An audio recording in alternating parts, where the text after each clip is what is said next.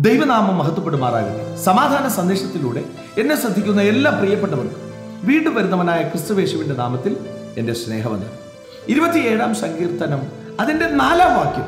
ഞാൻ യഹോവയോട് ഒരു കാര്യം അപേക്ഷിച്ചു. അത് തന്നെ ഞാൻ ആഗ്രഹിക്കുന്നു.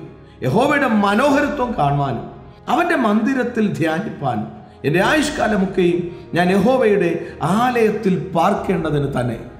ഭക്തനായ ദാവീദിന്റെ അനുഗ്രഹിക്കപ്പെട്ടൊരു സങ്കീർത്തനമാണ്. ദാവീദ് പറയുകയാണ് ഞാൻ ഒരു കാര്യം ആഗ്രഹിച്ചു അത് തന്നെ ഞാൻ അപേക്ഷിച്ചു. ദാവീദിന്റെ പ്രാർത്ഥന ദാവീദിന്റെ ഹൃദയത്തിലെ ആഗ്രഹമായിരുന്നു. പ്രിയരെ വളരെ ശ്രദ്ധേയമാണ് ദാവീദിന്റെ ഹൃദയത്തിലെ ആഗ്രഹം. ദാവീദ് പറയുകയാണ് ദൈവത്തിന്റെ മനോഹരത്വം എനിക്ക് കാണണം. പ്രിയരെ നമ്മുടെ ജീവിതത്തിലൊക്കെ ആഗ്രഹമുണ്ട് പ്രാർത്ഥനയുണ്ട്. നമ്മളൊക്കെ ആഗ്രഹിക്കുന്നത് നാളെ എന്താകാൻ പറ്റും? തലമുറയുടെ ഭാവി എന്താകും? നമ്മൾ ആഗ്രഹിച്ചതൊക്കെ ലഭിക്കുമോ? അതായത് നമ്മുടെ ആഗ്രഹം യഹോവയുടെ മനോഹരത്വം കാണുക എന്നുള്ളതല്ല. ഈ ഭൂമിയിൽ നമുക്ക് എന്ത് ലഭിക്കും? എന്നാൽ ദാവീദിന് വ്യക്തമായിട്ട് അറിയാം ഇവിടെ ഉള്ളതിനേക്കാൾ വലുത് ദൈവത്തിന്റെ മനോഹരത്വം. അതാ ദാവീദ് പറയുന്നത് ഞാൻ ആഗ്രഹിക്കുന്നത് അതാണ്. ഞാൻ അത് തന്നെ അപേക്ഷിക്കുന്നു. നമ്മുടെ ജീവിതത്തിനകത്തും പേര് ഇത് തന്നെയാണ്. നമ്മുടെ ആഗ്രഹം എന്താണോ അതാണ് നമ്മൾ അപേക്ഷിക്കുന്നത്. നമ്മുടെ ആഗ്രഹം കർത്താവെ എന്റെ തലമുറകളെ അനുഗ്രഹിക്കണം. അതാണ് നമ്മുടെ ആഗ്രഹം. നമ്മൾ പിന്നെ അടുത്ത് ചോദിക്കുന്നത് നാളെ എന്തായി തീരും? അതാണ് നമ്മുടെ ആഗ്രഹം. ഭാവി എന്താകും? കർത്താവെ ഭാവിയെ സുരക്ഷിതമാക്കണമേ. അതാണ് നമ്മുടെ ആഗ്രഹം. എന്നാൽ ഇവിടെ ദാവീദിന്റെ ആഗ്രഹം അതല്ല.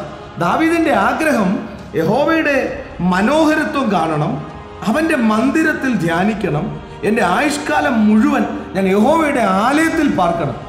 ജീവിതം മുഴുവൻ ദൈവസന്നിധിയിൽ സമർപ്പിക്കണമെന്ന ദാവീദിന്റെ പ്രാർത്ഥനയുടെ നടുവിൽ ദാവീദിന് ദൈവം മറുപടി കൊടുക്കുക.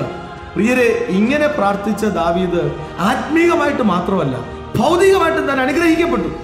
അതുകൊണ്ടാ പുതിയ നിയമത്തിൽ കർത്താവ് പറഞ്ഞത് നന്മയും കരുണയും നിന്റെ ആയുഷ്കാലമൊക്കെയും നിന്നെ പിന്തുടരും. അതെപ്പോഴാ? വചനം പറയുന്നു മുൻപേ അവന്റെ രാജ്യവും നീതിയും അന്വേഷിപ്പിൻ പ്രിയരെ ദൈവത്തിന്റെ മനോഹരത്വം കാണുവാനും കർത്താവിന്റെ സന്നിധിയിൽ വസിക്കാനും ആലയത്തോട് ചേർന്ന് നിൽക്കാനും ഒക്കെ ആഗ്രഹിച്ച ദാവീദിനെ ദൈവം അനുഗ്രഹിച്ചു. ശമുവേൽ ബാലൻ ആലയത്തിന്റെ വിളക്ക് കെട്ടുപോകാതെ ചേർന്ന് നിൽക്കാൻ ആഗ്രഹിച്ചപ്പോൾ ശമുവേലിനെ ദൈവം അനുഗ്രഹിച്ചു. നമ്മുടെ ജീവിതത്തിൽ യഹോവയോട് ചേർന്ന് നിൽക്കുന്ന ഒരു പ്രാർത്ഥനയേക്കാൾ അധികമായിട്ട് ഈ ലോകത്തിൽ എന്ത് കിട്ടും? എന്ന പ്രാർത്ഥന അധികമാകുമ്പോൾ പ്രിയരെ ആഗ്രഹിക്കുന്നത് പലതും ലഭിക്കാതെ ദൈവത്തിന്റെ സന്നിധിയിൽ വിശ്വസ്തരാകാൻ കഴിയാതെ ദൈവം ആഗ്രഹിക്കുന്നത് ഒന്നും ചെയ്യാതെ ഭൂമിയിൽ പട്ടുപോകുന്ന ഒത്തിരി പേരെ കാണാൻ പറ്റും. എന്നാൽ ഈ സന്ദേശം കേൾക്കുമ്പോൾ ദാവീദ് പ്രാർത്ഥിച്ചതുപോലെ ദാവീദ് പ്രാപിച്ചതുപോലെ ആ മനോഹരത്വം കണ്ട് ആ ആലയത്തിൽ ആയുഷ്കാലം മുഴുവൻ ദാവീദിന്റെ വരികളൊന്ന് നോക്കിയേ എന്റെ ആയുഷ്കാലം മുഴുവൻ പ്രിയരെ ജീവിതത്തിന്റെ മുഴുവൻ സമയവും ദൈവത്തോട് ചേർന്ന് നടക്കാൻ ഭക്തൻ ആഗ്രഹിച്ചതുപോലെ ഹാനോക്ക് നടന്നതുപോലെ നമുക്ക് സഞ്ചരിപ്പാൻ ദൈവം കൃപ ചെയ്യട്ടെ. വിശ്വസിക്കുക പ്രാർത്ഥിക്കുക. ദൈവം വിശ്വസ്തൻ. God bless